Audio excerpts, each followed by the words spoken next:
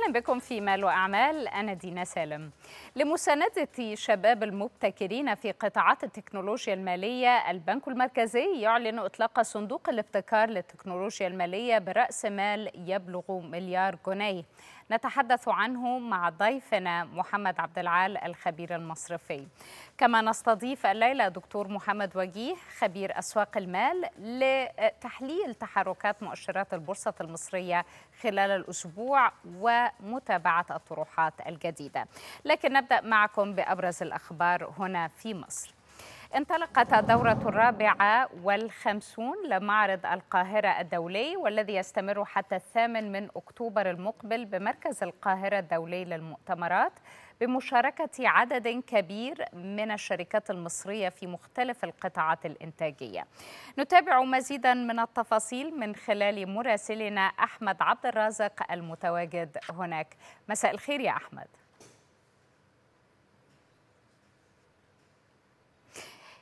إذا سنتابع مزيدا من التفاصيل مع الزميل أحمد عبد الرازق. أهلا وسهلا يا أحمد. مساء الخير. مساء الخير دينا تحياتي لك ولمشاهدي إكسترا نيوز في كل مكان.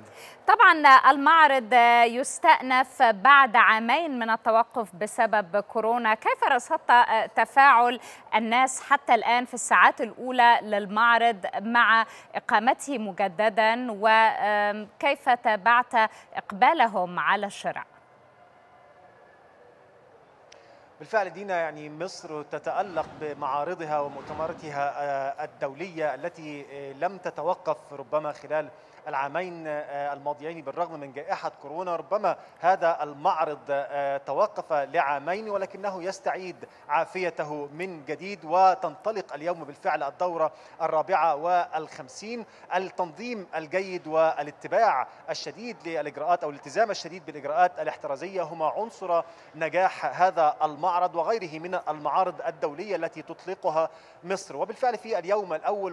الأول وعقب افتتاح دكتور دكتورة نافين جامع وزيرة التجارة والصناعة. لهذا المعرض كان هناك عدد كبير من رواد المعرض بدأوا بالفعل في التدفق لقاعاته أو صالته الثلاث. كنا نتخيل أن اليوم الأول هو يوم افتتاح رسمي فقط وتبدأ الفعاليات من اليوم الثاني كما هو معتاد في معظم المعارض. ولكن بالفعل هناك عدد كبير من الجمهور قمنا ربما برصده في بعض الفيديوهات التي صورناها من داخل المعرض. ولكن دينا اسمحي لي لمزيد من المعلومات والإيضاح حول هذا المعرض عن تنظيمه وعن الدول المشاركة فيه وعن الشركات التي تعرض فيه منتجاتها أن ألتقي بالدكتورة مي عسل رئيس الهيئة العامة المصرية للمعارض والمؤتمرات الدولية لتطلعنا على مزيد من المعلومات. تحياتي أرحب بك على شاشة إكسترا نيوز. وأطلعينا إذا تفضلت عن هذا المعرض عن مساحة هذا المعرض عن الدول المشاركة فيه عن التنظيم الذي سبق هذا اليوم الذي نقف فيه الآن يوم الافتتاح. أنا بشكر حضرتك جدا على تواجدكم هنا وبرحب بيكم هنا في المعرض القاهرة في الدورة 54 المعرض اللي آخر دورة له أقيمت في 2019 كان المتوقع أنها كان يقام الدورة اللي بتليها في 2020 إنما بسبب جائحة الكورونا اتأجلت. وتأجلت كمان مرة تانية في مارس 2021 علشان كده أقيمت المرة دي في سبتمبر في هذا الشهر واتفتحت وتم الافتتاح المعرض ده هو تحت رعاية دولة رئيس الوزراء وكان بحضور وتم, وتم افتتاحه من معالي وزير التجارة والصناعة دكتورة نيفين جامع. كان من التحديات اللي بتقابلنا في المعرض ده إن إحنا إزاي نعمل معرض B2C اللي هو بي بيستهدف المستهلك في بيع مباشر مش مجرد لقاءات ولا B2B. ونستقطب الدول اللي بعض منها مغلق اللي بعض طرق من ما بيننا وما بينها مغلقة بسبب الجائحة إن إحنا نستقطبهم وناخد تأكيدات على على وجودهم ونحاول نأكد المساحات. لكن كل ده وإحنا بنطبق كافة الإجراءات الاحترازية. كانت إجراءاتنا وإحنا حتى بنعرض الموضوع ده في الأول إن إحنا إزاي نوسع المساحات. وسعناها بالممرات. وسعناها بإن إحنا حددنا اتجاه الممرات. في ممرات ضاعفنا من مساحتها من عرضها علشان عارفين إن الترافيك أو الحركة عليها هتبقى عالية فبالتالي هيكون في رايح وجاي مش مجرد اتجاه واحد. المعرض ده 110 شركة. ست دول المعرض ده ضيف الشرف فيه هي جمهورية العراق اللي آه، حضروا معانا وتشرفنا بوجودهم بوجود 11 شركة من شركاتهم. كان برضو من الحاجات اللي إحنا أكدنا عليها إن إحنا نبلغ كل المشاركين أجانب ال- آه، الشركات الحكومية المصرية الشركات القطاع الخاص بكافة الإجراءات بتاعتها وكافة إجراءات المتبعة من آه، زي ما قلت لحضرتك المساحة اللي موجودة إن إحنا نوسع ما بين الأجنحة إن إحنا نحدد عدد العارضين اللي داخل كل جناح علشان ما يحصلش تزاحم. ففعلا الحمد لله عندي 14 قطاع ممثل في ال- في المعرض ده. آه، عندنا شركات من كتر ما هي كانت متشوقه إن هي تدخل في المعارض اللي B2C في شركات عاملة تقسيط على على فترة 10 10 سنين. عندنا قطاع المرك- المركبات يعني آه، اللي هو في العيال ال tricycle زي ما حضرتك شفت في الدراجات وفي إقبال كبير عليهم. في عندنا اللي هو القطاع الغذائي الملابس ال- آه، الجلود ال- المفروشات آه، الاساس الأدوات المنزلية أكتر من قطاع. عندي يمكن هنا جزء المغطى 8000 متر والمكشوف في الخارج 3000 متر طيب دكتورة عايزين نعرف برضه أو نعرف مشاهدينا على نوعية المعروضات أو نوعية المنتجات نقول لهم تعالوا عندنا هنا علشان تشتروا إيه أو إيه نوعية المنتجات اللي موجودة إيه؟ يمكن هبدأ بالقطاع اللي هو يعني بعد الدول اللي موجوده معايا وهي دولة العراق في سريلانكا في إندونيسيا في فيتنام ممثله بال- حتى في آه، الندوة اللي أقاموها آه، باكستان السعودية السودان أوغندا الدول المشاركة معانا كل دول. عندي يمكن في الجزء اللي يليهم مباشرة كان ال- الأدوات المنزلية من أدوات كهربائية من أواني كل ده موجودة في منهم في شركات منهم نزلت الحاجات دي وعرضت أسعارها بال- بالقسط. عندي شركات القبضة نزلت حتى طبعا وزارة الإنتاج الحربي مشرفانا موجودة معانا.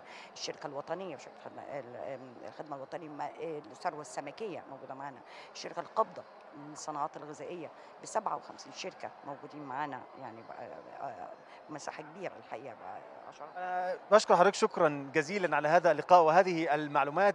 أه إذا دينا يعني كل ما يحتاجه المواطن المصري من سلع معمرة أو سلع استهلاكية يتواجد أو يتوفر هنا في هذا المعرض تحديدا في الدورة الرابعة والخمسين من معرض القاهرة الدولي الذي كما ذكرت الدكتورة مي يضم عدد أو يعني يستضيف عدد من الدول والعراق هي دولة ضيف الشرف في هذا المعرض. آه، وربما رصدنا العديد من آه، المعروضات داخل هذا المعرض ربما تعرض الآن على الشاشة. آه، يعني هذا ما رصدناه على مدار اليوم. أعود إليك مرة أخرى دينا. شكرا جزيلا الزميل أحمد عبد الرازق على هذه المتابعة القيمة وأيضا الشكر موصول للدكتورة مي عسل. خطة تحديث ورقمنة قطاع الكهرباء في مصر تشهد نموا مستمرا. واليوم نشهد أول افتتاح تجريبي لأحد مراكز التحكم الرقمي في شبكات التوزيع والتي تسهم في استقرار شبكة الكهرباء واستمرار التغذية ومتابعة الأعطال فور حدوثها إضافة إلى العمل على حلها فورا. نتابع. جاء الوقت للدخول إلى مرحلة الرقمنة بافتتاح مركز التحكم الآلي لشبكة كهرباء القاهرة الجديدة وذلك طبقا لتوجيهات من الرئيس عبد الفتاح السيسي في إطار خطة الكهرباء لتحديث وتطوير جميع شبكات الكهرباء على مستوى محافظات مصر. يعني عاملين ترتيب على إن يبقى موجود على مستوى الجمهورية حوالي 47 مركز للتحكم في شبكات التوزيع. ده بيؤدي إلى أشياء كثيرة يمكن من أحد حاجاتها ال- ال- الأساسية اللي هي آه، آه، تحسين جودة الخدمة للمستهلك النهائي. آه، ابتدينا بالأمر ده ان إحنا بنحضر كنوع من الافتتاح التجريبي في المرحلة الأولى لسه ما هوش ده افتتاح رسمي لهذا المكان. آه، آه، وبيضا لأن إحنا برضه بنجلس أرجو ان إحنا في العدد اللي موجود الاربعه يكونوا خلصانين بإذن الله. فيمكن حضرتك شفتي الاجراءات اللي بتتم إزاي وشفتي دخلنا على ال- ال- المراكز اللي هي التعامل مع ال- المعدات الكهربية على البعد يعني أنا شايف إن هي حاجة ممتازة جدا وهتساهم بشدة في رفع كفاءة ومستوى كفاءة ال- التشغيل في شبكة التوزيع. مزايا مركز التحكم الآلي التي من أبرزها أنها تؤدي لاستمرار عمل الشبكة حتى مع انقطاع التيار إلى جانب تقليل الفصل في التيار. وغيرها من المزايا المهمة والمفيدة لجميع المشتركين. آه، طبعا المشروع ده عبارة عن التحكم الآلي في توزيع الكهرباء وده معناه إيه؟ معناه تقليل نسبة الأعطال طبعا وإصلاح الأعطال بشكل مباشر. ورغم إن هو ما بيبقاش ظاهر للجميع بصفته مش مبنى أو منشأة إلا إنه مهم جدا بالنسبة للبنية التحتية للكهرباء وتوزيع الكهرباء في المدن الكبرى زي زي القاهرة. So what Schneider basically does is to provide the شنايدر بتعمل على إمداد المركز ده بالحاجات اللي هي بتحتاجها بطريقة ذكية وبتحاول إنها تدعم الشغل ده بالتعاون مع الحكومة المصرية. smart grid of uh, of this phase of uh, of Egypt. شركة شنايدر موجودة في مصر من أكتر من 40 سنة وفي تعاون كبير جدا بين شركة شنايدر وبين وزارة الكهرباء وبين برضو المؤسسات الأخرى المعنية بهذا الموضوع. وخلال رقمنة شركات توزيع الكهرباء سيتم اكتشاف العطل وإصلاحه عن بعد دون أخذ وقت طويل لمعرفة المكان الجغرافي للعطل هذا فضلا عن إضافة نظام أمني كامل وأجهزة وقاية ذكية للاتصال بمراكز التحكم بسرعة كبيرة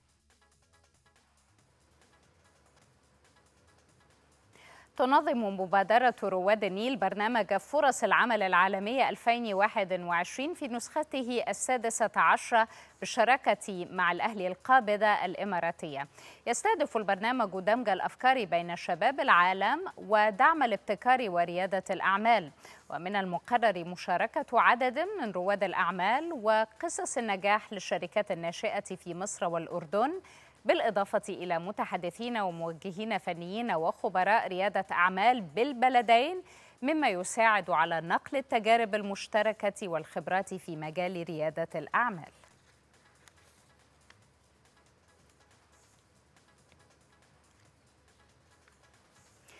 استقرار لليوم الرابع على التوالي في سعر الدولار مقابل الجنيه نتابع معكم التفاصيل.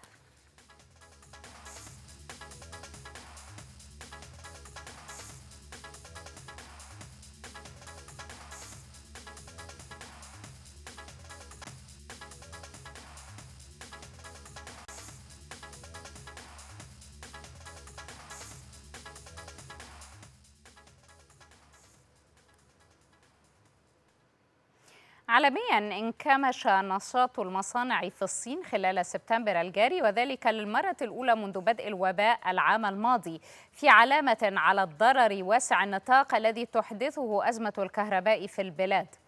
تراجع مؤشر مدير المشتريات الصناعي الرسمي في الصين إلى 49.6 نقطة من 50.1 نقطة خلال أغسطس بينما كان من المتوقع استقراره دون تغيير عن الشهر السابق.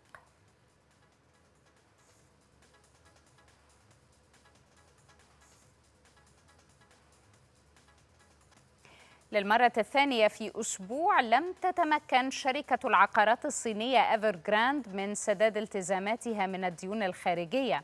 كان من المقرر أن تسدد الشركة التي تعاني من ديون بقيمة 305 مليارات دولار يوم الأربعاء مدفوعات فائدة سندات بقيمة 47 مليون و500 ألف دولار على سنداتها البالغة 9.5% في مارس 2024 بعد أن تخلفت عن سداد 83 مليون و500 ألف دولار يوم الخميس الماضي.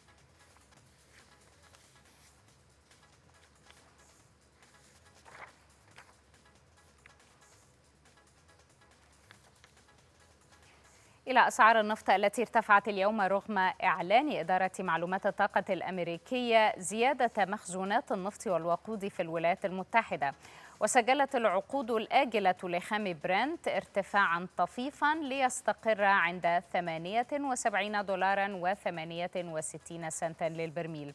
وصعدت العقود الآجلة للخام الأمريكي ب نحو 20% ليصل إلى 74 دولارا و 9 أو 96 سنتا للبرميل.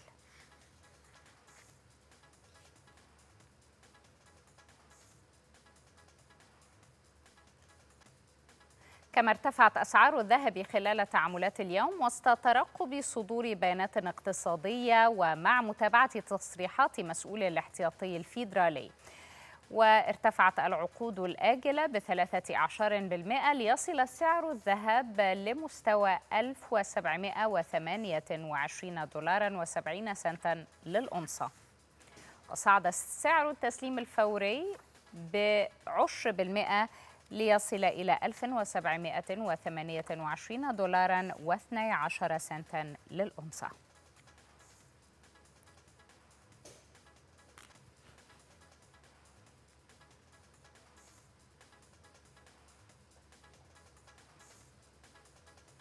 مشاهدينا نتوقف مع فاصل قصير. بعده ألتقي محمد وجيه خبير أسواق المال للحديث عن تحركات البورصة المصرية. كونوا معنا.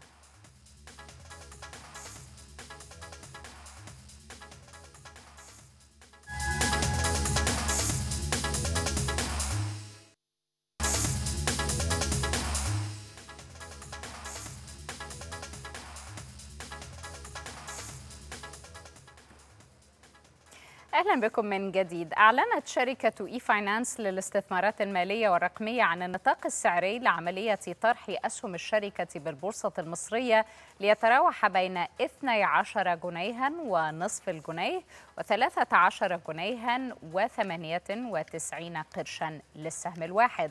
وسوف يتم إعلان السعر النهائي للطرح في التاسع من أكتوبر 2021 وفقا لسير عملية تسجيل طلبات الاكتتاب فضلا عن فتح باب تلقي طلبات الاكتتاب في شريحة الطرح العام للجمهور اعتبارا من السادس من أكتوبر وحتى الثالث عشر من أكتوبر 2021 على أن يبدأ التداول على أسهم الشركة بحلول الثامن عشر من أكتوبر 2021 هذا يأخذنا لإغلاقات البورصة المصرية بنهاية تعاملات اليوم. طبعا الخميس نهاية الأسبوع الإغلاقات كانت على ارتفاع.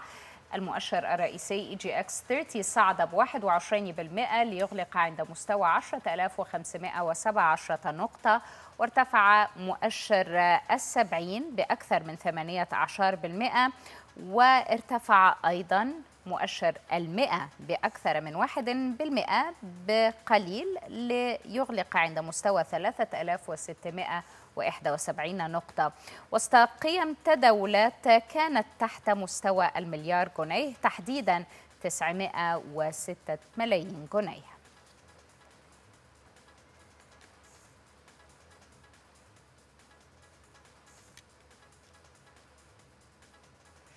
لمزيد من التحليل يشاركنا هنا في الاستوديو الدكتور محمد وجيه خبير أسواق المال.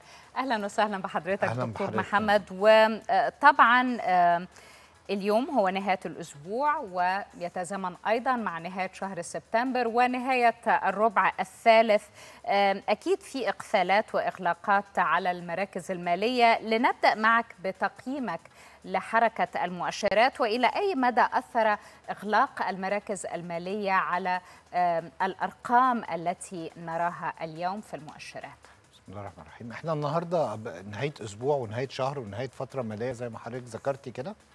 وده طبعا له تداعيات كتيرة قوي على السوق. بس الأول الحمد لله إن إحنا قفلنا الأسبوع وقفلنا الفترة المالية باتجاه صاعد وده معناه أمل في إن شاء الله الفترة اللي جاية إنه لا يزال روح التفاؤل موجودة في البورصة ولا يزال الناس شايفة إنه الأسعار دلوقتي في منطقة جيدة وجاذبة ومثيرة للاهتمام ويعني هنكمل على خير إن شاء الله.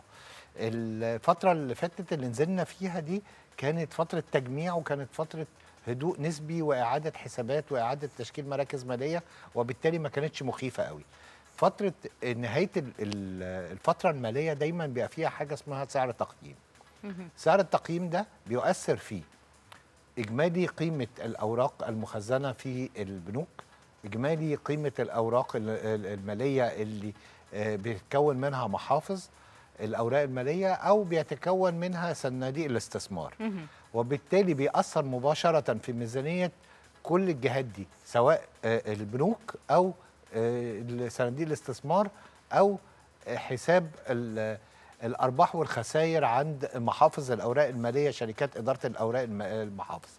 ودولت بيمثلوا جزء ضخم جدا من حجم اللاعبين في السوق المصري. يعني بيمثلوا من 70 ل 80% من حجم السوق. وبالتالي أسعار الإقفالات في نهاية كل فترة مالية ده شيء أساسي ومهم جدا بالنسبة لشريحة كبيرة جدا من المتعاملين في السوق. أنا عندي المتعاملين في السوق بينقسموا لثلاث جهات. فئات. يا إما أفراد يا إما مؤسسات يا إما محترفين. المحترفين دولت هم فئة من الأفراد بس ما أقدرش إن أنا أسميها أفراد لأن هم وصلوا إلى ملاءه مالية عالية ووصلوا إلى خبرات في التداول واجتهاد باستخدام خبراء يسمح لهم بالعمل كما لو كانوا من المؤسسات المالية اللي يعني بي- بيتعاملوا بنفس الطريقة أو بشبه الطريقة. يعني لديهم ال- الوعي وال- والمعرفة التي يمتلكها مديري المحافظ. بالظبط. ولديهم القوة على التأثير على السوق بحجم الملاءة المالية اللي عندهم.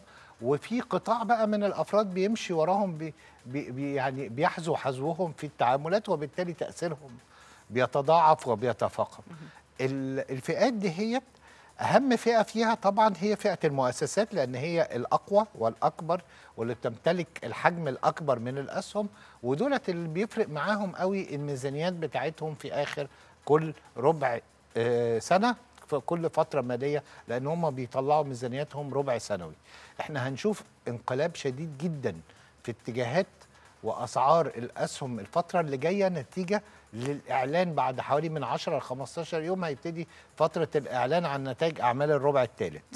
وبالتالي في الشركات اللي فعلا قدرت إنها تحقق نتائج طيبة هنشوف تأثير إيجابي جدا على أسهمها. والشركات اللي كان طالع عليها أخبار كتيرة جدا إنها محققة وهنلاقي إنه النتائج الحقيقية خلفت التوقعات. هنلاقي عليها انعكاس شديد جدا في اتجاه ال- الصعود اللي كانت موجودة عليه وه- وهينعكس ده طبعا سلبيا على الأداء في السوق. وبالتالي هيحصل تغيير في المراكز المالية من الشركات الخاسره للشركات الرابحة. وهنشوف تقلبات كتيرة جدا لكن في الآخر المؤشر هيطلع جدا لأنه معظم الشركات الرابحة هي اللي بتشكل المؤشر ال 30 مهم. وإن شاء الله أعتقد والمؤشرات بتقول يعني والتوقعات بتقول إنه ال- الأسهم اللي في المؤشر ال 30 هنشوف فيها طفرة في آه، نتائج أعمالها في الربع الثالث ده. حضرتك بتتكلم عن ال- الشركات القيادية وأنه آه، مؤشرات بخصوص نتائج الأعمال آه، آه، جيدة إلى حد كبير. حضرتك بتقارن بالشركات المدرجة مثلا في المؤشر السبعيني اللي كان فيها طفرات غير مفهومة في كثير من الأحيان ربما لا ترتبط بالضرورة بطبيعة البرفورمانس في الشركات؟ آه، ممكن جدا الكلام ده ينطبق على عديد من الشركات لكن برضو ما نقدرش ننكر إن في جزء من الشركات اللي في المؤشر السبعيني اللي حصل فيها طفرات سعرية كبيرة. الطفرات دي كان ليها سبب. إحنا في البورصة بنبيع المستقبل ما بنبيعش الماضي. يعني دايما إحنا بنقيم التوقعات الأداء المستقبلي للشركات وهو ده اللي بينعكس على السعر الحالي. مش بنقول هي فعلا عملت إيه أو نجحت في إنها تحقق أرباح قد إيه أو هتوزع كوبون قد إيه. ال- الأرباح والتوزيعات بتعتبر دليل على استمرارية الشركة في النجاح لكن أنا في كل الأحوال أنا بشتري النهارده السهم بسعر لأني متوقع له بكرة يبقى أحسن مهم. ففي جزء من الطفرات السعرية كانت حقيقية كانت ومبررة مبررة. لكن في جنبها حاجات تانية ما كانتش مبررة أو ربما تكون مبررة بس الخبر مش معلن للجميع. ممكن يكون في سبب بس السبب ده ما يعرفوش غير قلة صغيرة من الناس وهم اللي قادرين يطلعوا بالسهم أو يستفيدوا من ده مهم. وهو ممكن يكون لأ مفيش سبب بس هو في نوع من التدافع لأن في الأول وفي الآخر إحنا قانون السوق مين عندنا العرض والطلب هو ده اللي صحيح. بيحكمنا وهو ده اللي بيحركنا هو كل ما الطلب بيزيد على سهم كل ما سعره بيزيد وكل ما العرض بيزيد على سهم كل ما سع- سعره بيقل.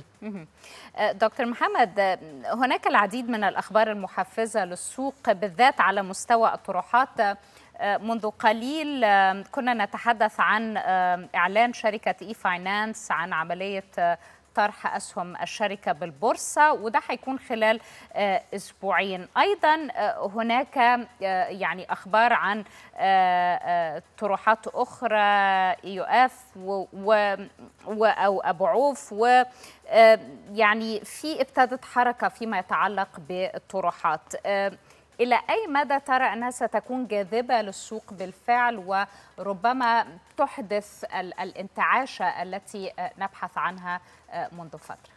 إحنا السوق محتاج طروحات لأنه حجم دلوقتي الأسهم المتاحة في السوق برأس مالها السوقي من الأسهم الحرة أصبح ضعيف لا يسمح للمستثمرين ذوي الملاءة المالية العالية أنا أقصد المستثمرين الدوليين ذوي المالية العالية إن هم يدخلوا في السوق المصري. يعني أنا النهارده لما يكون حجم التداول بتاعي بالكامل حوالي 100 120 مليون دولار لو أنا عايز أضخ 500 مليون مليون دولار أو مليار دولار في السوق المصري مش هعرف. لو دخلت مش هعرف أخرج بيهم. وبالتالي المؤسسات الكبرى في العالم بتحجم عن الدخول في سوقنا لأن سوقنا أصبح حجمه لا يسمح بالدخول والخروج للكميات الضخمة من الأموال بسهولة. في أي مستوى يعني في أي مستوى للتداولات يكون السوق جاذب للمؤسسات الأجنبية الكبرى؟ على الأقل في المرحلة الحالية عشان نبتدي نستعيد العملاء اللي كانوا عندنا لازم نوصل ل 250 مليون دولار تداول يومي وعشان نقدر بقى نجذب الشريحة العليا يبقى لازم نعدي ال 500 مليار دو مليون دولار نص مليار دولار في اليوم وده لسه رقم لمده قد إيه؟ ما هو لازم يكون لا ده يبقى المعدل ده المعدل يعني ده المعدل. إحنا المعدل بتاعنا دلوقتي مليار مليار وربع. لو خدنا متوسط السنة كلها هنبقى مليار وربع واللي هو أقل من 100 مليون. أقل من 100 مليون ده ما حدش بيبص لنا غير الأفراد غير الصناديق الصغيرة قوي في الدنيا. فإحنا فلازم محتاجين نكون فوق 3 مليار آه يومي. إحنا محتاجين حجم طروحات حكومي ضخم يدخل السوق. صحيح القطاع الخاص هام جدا وطروحات القطاع الخاص اللي بتنزل دلوقتي والتحول من الشركات العائلية لشركات عامة ده مؤشر إيجابي جدا ويعني ومقدر جدا في العالم. ولكن الحجم الضخم هيجي من سواء طرح شركات كانت عامة أو شركات تنشأ من أول وجديد أو تكون حديثة الإنشاء ويتم طرحها في البورصة. فتحصل الدولة على ما تم انفاقه كجزء من ثمن الشريحة اللي هتنزل وتنشئ بيها شركات أخرى وبالتالي السوق يكبر. وحجم المال السوقي أو حجم رأس المال السوقي يكبر ويوصل للحد اللي يسمح لنا إن إحنا نتحط على يعني التصنيفات الدولية للأسواق الناشئة. نعم. السعودية لما طرحت أرامكو وهي شركة استراتيجية جدا كسبت ما خسرتش الدولة. ليه؟ لأنها صنفت خلاص السوق السعودي في البورصة على إنه الأكبر في المنطقة. صحيح. فخدت زخم وابتدت تاخد رؤية واهتمام عالمي وجذبت ناس كتيرة جدا. إحنا نقدر برضو ندخل شركات مش لازم ننزل شريحة حاكمة لكن ممكن ننزل شريحة من 25 ل 30 ل 40% وتظل القيادة وال وال والأغلبية في الجمعيات العمومية في إيدين الدولة ما فيش مشكله مشاركة المواطنين مهمة ومشاركة العالم كله مهمة. حضور المستثمرين وحضور آراء أخرى للجمعيات العمومية هيسري تجربة الإدارة وهيسري تجربة الحوكمة جوه الشركات دهيت وهيخلي الشركات دي تنمو وتكبر وتزدهر وتلتصق بالناس أكتر الناس هتحسها. فنرجع ل e-finance. e-finance هتستفيد استفادة عظمى من النجاح اللي حققته فوري اللي ما استفادتش منه نفسها فوري أه. لأنها نفس القطاع وبالتالي الناس هتقبل عليها بشكل كبير والتجربة هتنجح جدا لكن برضو إحنا لسه مستنيين أكتر وأكتر وأكتر. دكتور محمد أنا عايز أسأل حضرتك سؤال سريع في النهاية. البورصة تبنت مشروع إتاحة التعامل والاستثمار في الأسهم للشباب من سن 16 لأقل من 21 سنة. إلى أي مدى سينشط هذا التعاملات؟ و إزاي المستثمرين بشكل عام يمكن أن يتخذوا قرار استثماري في ظل هذه التذبذبات الحاصلة في السوق؟ إحنا دايما بنقول إن الأفراد هم الوقود الحقيقي للبورصات وبالتالي الأفراد دول هيجوا منين؟ لازم يبقى عندي قناعة انه اتجاهي للسوق المال ده اتجاه جيد وم- ومحبب ليا. فأنا لازم أبتدي من سن صغير من السن اللي هو أنا مسؤولياتي فيه بسيطة وكمان مدخراتي فيه بسيطة وبالتالي مخاطرتي بسيطة.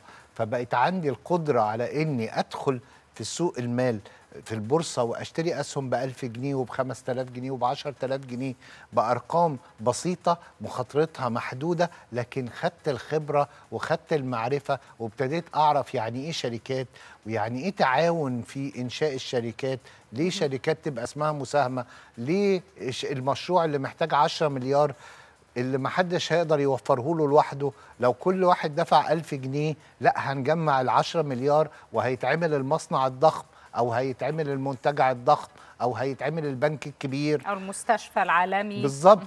المشاريع الكبرى دي ممكن إنها تنفذ بس بأرقام بسيطة بس بعدد كبير جدا. صحيح. العدد الكبير ده كمان له طريقة في التعامل والقيادة. يعني إيه الجمعية العمومية؟ ويعني إيه مجلس الإدارة؟ ويعني إيه توزيع الأرباح؟ ويعني إيه الكوبونات؟ كل الخبرات دي لما بتتاخد على مدى السنين الشاب الصغير اللي لسه في الجامعة ده هيطلع بعد بعد ما يبتدي يثبت نفسه في الحياة ويبقى عنده مدخرات ويبقى عنده أموال خاصة لا هيتجه باستثمارها مرة تانية للبورصة. نعم. إحنا بن- بندخل دلوقتي المجتمع المدني في القصة دي من خلال الجمعيات من خلال أندية الروتري من خلال آه الجامعات بحيث إن إحنا نعمل محاضرات جوه الأماكن دهيت للأعضاء وللناس ولطلبة الجامعات نعرفهم بالبورصة وآلياتها وطرقها وإزاي نستفيد منها وإزاي إن إحنا نعرف آه، ندخل فيها وخطواتنا للاستثمار تبقى عاملة إيه. دكتور محمد وجيه خبير أسواق المال شكرا جزيلا على آه، هذه المشاركة القيمة جدا ونتمنى أن نراك آه، قريبا. إن شاء الله. أنا سعيد. جدا ويعني يا رب الربع الرابع يكون أفضل من الربع الثالث إن شاء الله. إن شاء الله. مشاهدينا الكرام نتوقف مع فاصل أخير. بعده نلتقي محمد عبد العال الخبير المصرفي للحديث عن إطلاق صندوق دعم رؤوس أموال شركات التكنولوجيا المالية. الناشئة كونوا معنا.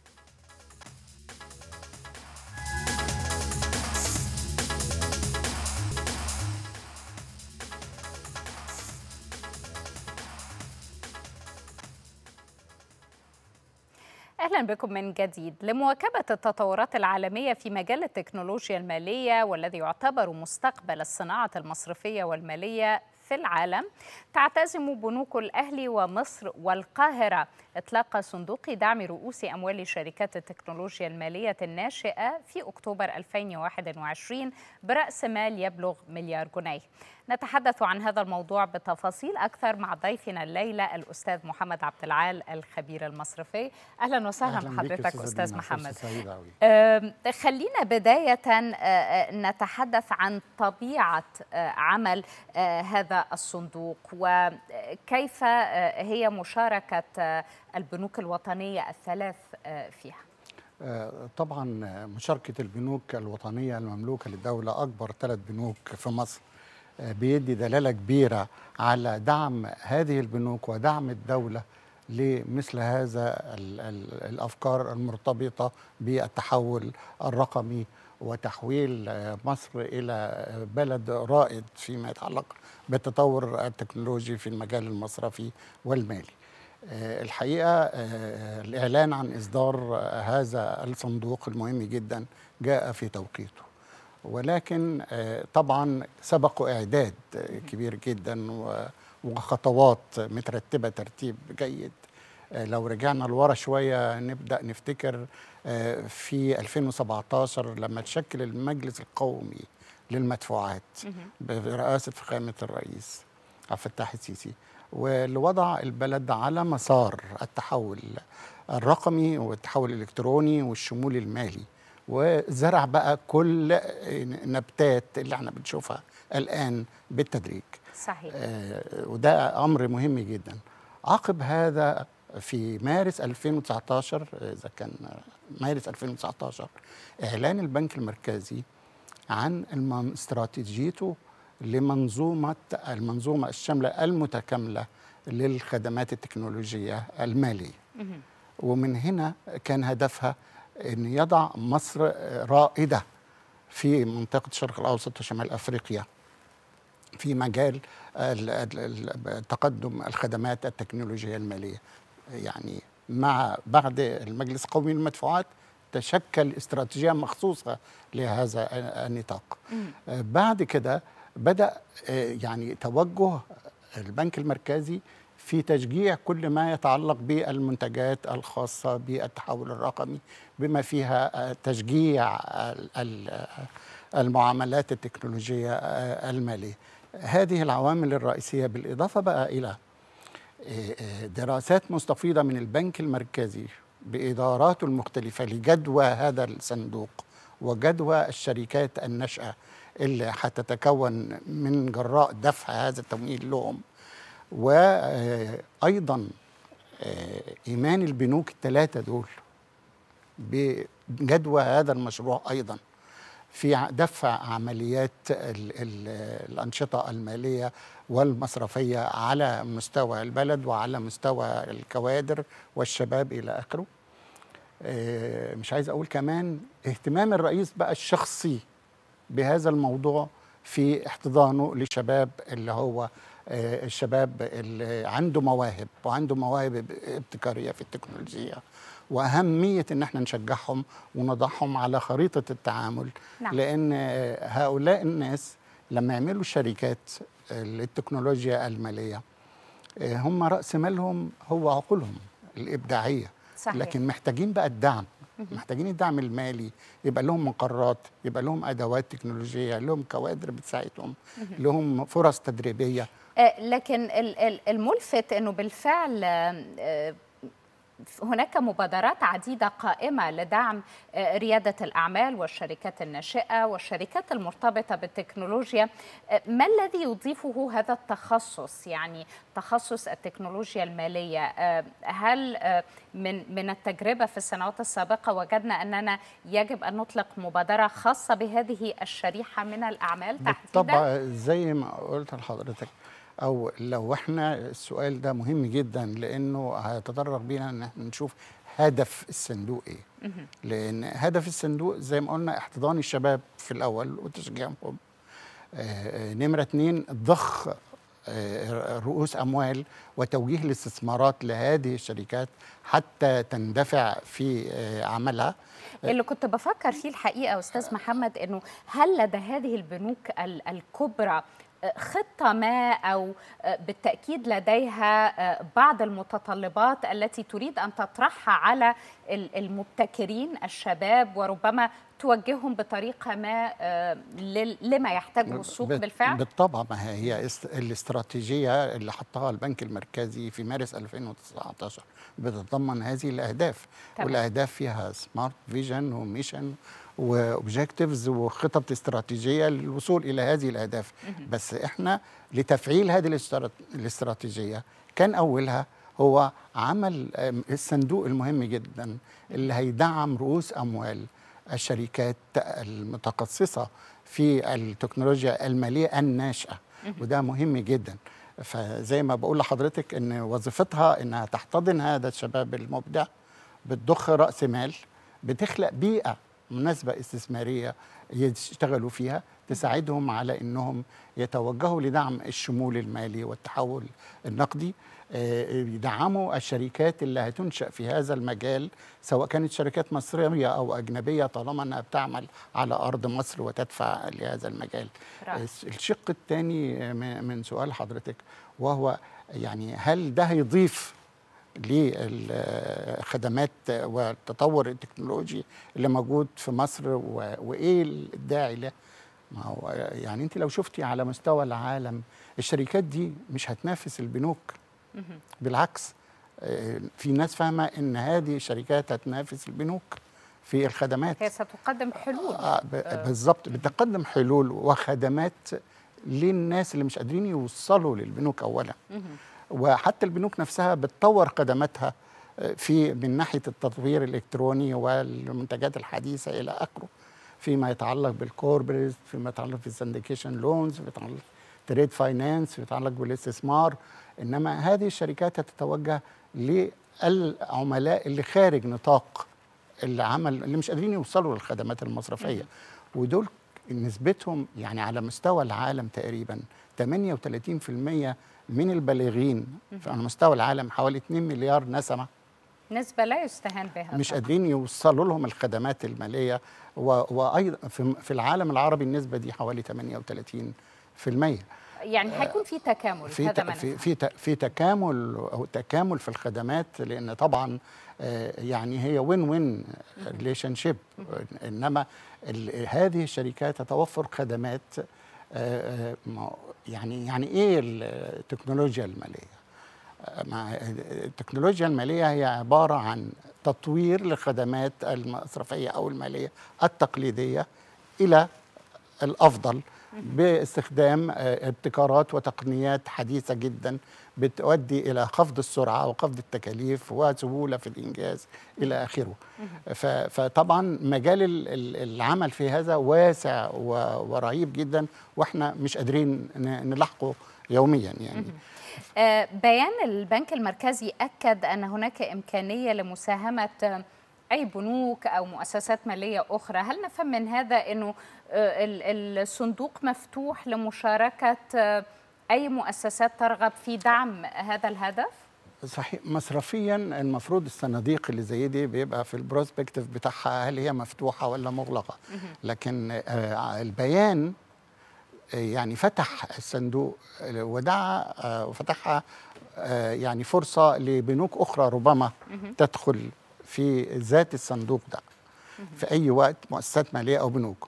ولكن في تصوري إن ربما يكون هناك في مجال أيضا لبنوك الاستثمار القائمة إنها تعمل صناديق زي دي ولا سيما لكن مسمى الصندوق هذا بالتأكيد سينعكس على طريقة ال- التمويل. يعني هل نفهم أنه البنوك هتكون شريك في المشروعات؟ كيف سيدار الصندوق؟ آه، الصندوق لو شفنا اسمه صندوق دعم رؤوس أموال.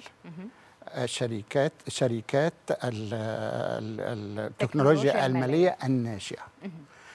فهو صندوق كلمة دعم دي مهمة. ممكن ناخدها بأشكال مختلفة. طبعا البنك المركزي بيحط محددات للبنوك إنها تستثمر في هذه الشركات بنسب معينة أعتقد 20% دلوقتي. من رأس مال هذه الشركات هو كان وسعها وبالتالي من الب- البنوك ممكن تستحوذ على بعض الشركات القائمة أو تنشئ شركات جديدة أو تقرض هذه الشركات بالتمويل. وهنا هيجي بقى يعني ال financial big push من البنوك لهذه الشركات. صحيح. فبالتالي هيبان في تفاصيل آه، أشكال مختلفة. وزي ما أنا قلت لحضرتك أعتقد إن هيبقى في مجال لشركات بنوك استثمار كتير ممكن تيجي من الخارج وممكن تيجي من الداخل تعمل مثل هذه الصناديق. بالفعل مصر أثبتت خلال السنوات الأخيرة أنها آه، يعني تستطيع إطلاق آه، عدد كبير من آه، شركات التكنولوجيا المالية فائقة النشاط وأيضا يعني مبتكرة جدا إلى أي مدى يمكن أن تأخذ هذه الخطوات مصر إلى أن تكون مركز إقليمي لصناعة التكنولوجيا المالية عربيا وأيضا في منطقة الشرق الأوسط صحيح. هو في تصوري أن شركات التكنولوجيا المالية في الوطن العربي آه، وفي شمال أفريقيا لسه محدودة بالنسبة للعالم.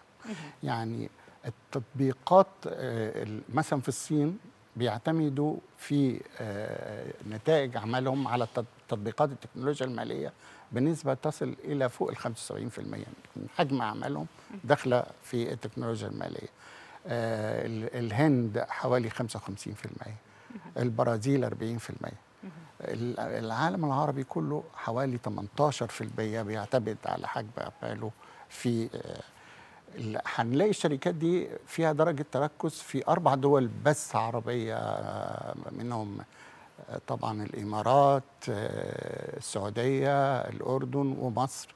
ومصر نسبتها لا بأس بها بالنسبة لل بغض النظر. عن الأرقام يعني يمكن تاني دولة في درجة استخدامها نعم. فطبعا آه، هناك روم كبيرة جدا لكل الدول في العالم إنها تخش وتساهم في رفع نسبة التكنولوجيا المالية المستخدمة في تطبيقاتهم نعم. لأن ده زي ما قلنا بيدفع بيوفر في التكاليف بيوفر في بي- بيوصل للناس اللي لا تستخدم المصارف وبالتالي بتساعد على الشمول المالي والتحول الإلكتروني.